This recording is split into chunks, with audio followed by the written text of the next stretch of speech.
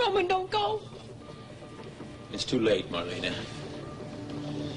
He's gone. And he's never coming back.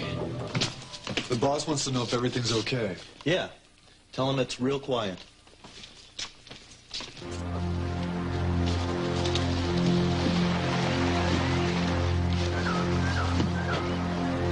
Sure. Roman doesn't give up easily. Well, in any event, that's the last you'll be seeing of him. Even if he does come back, you'll be long gone from here. What are you going to do with me?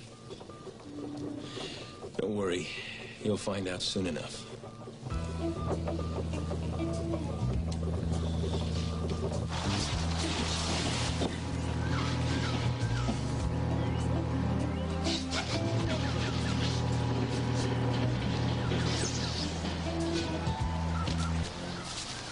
Well, are you ready for your journey, Marlena? Where are you sending me?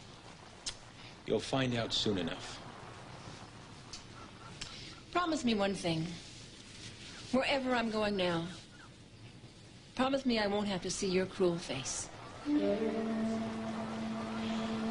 I can guarantee that where you're going, you'll never see me or your beloved husband again.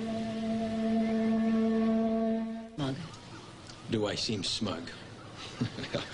Perhaps it's because my plans are working out so well. Oh, really? Do you think destroying people will ease your pain? It already has. So you're happier because of all the misery you've caused. Is that it? Yes, that's it, Marlena. Watching Roman suffer, watching him search desperately for you, wondering whether you're alive or not. Yes, that's made me much happier.